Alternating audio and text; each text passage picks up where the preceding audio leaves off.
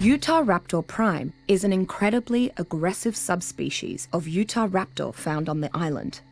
It tends to travel in small hunting packs, attacking smaller prey with its sharp teeth and enlarged foreclaws. When hunting in packs, the pack leader can vocalize a signal that acts as a battle cry. Be prepared to run or fight if you hear the call of the Utahraptor.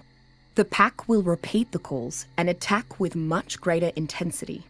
One of the faster creatures on the island, Utah Raptor often uses their pack numbers to their advantage by swarming around their prey before it can react.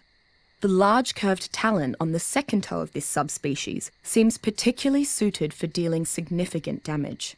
Utah Raptor prime usually kill its prey with numerous slashing and biting attacks in rapid sequence. What the Utahraptor lacks in size, it makes up for in ingenuity.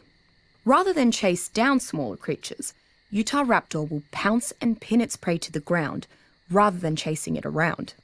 Despite its normally aggressive nature, Utahraptors have become one of the primary combat mounts for roaming bands of raiders, as well as scouts for larger collectives. Those who ride Utahraptor claim they are difficult to tame, but then fiercely loyal. As a carnivore, once tamed, they require a steady stream of meat to sustain.